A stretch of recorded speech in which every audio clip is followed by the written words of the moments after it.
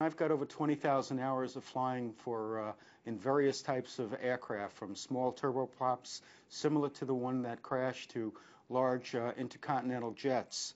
Uh, when you talk about pilot error, there's uh, generally speaking, you're dealing with professional pilots, and no one situation creates that as a situation by itself. Events lead up to somebody making a mistake or not following a prescribed checklist.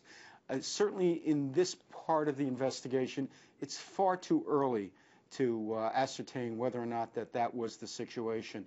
Again, once you get the black box and determine uh, what happened with the engines, what happened with the uh, airfoil, the wing itself, uh, the cockpit voice recorders will tell you a lot, the transmission to the air traffic controllers, whether or not a, uh, an emergency had been declared.